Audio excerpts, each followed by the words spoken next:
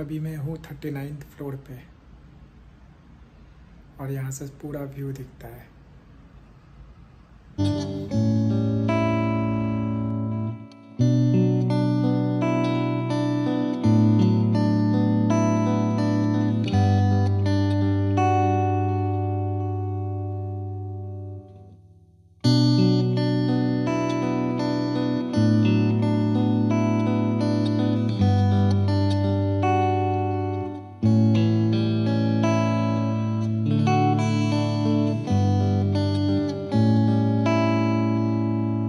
Thank you.